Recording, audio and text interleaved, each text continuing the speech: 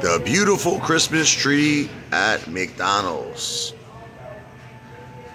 Joy to the world, the Lord has come. Not too shabby. Oh.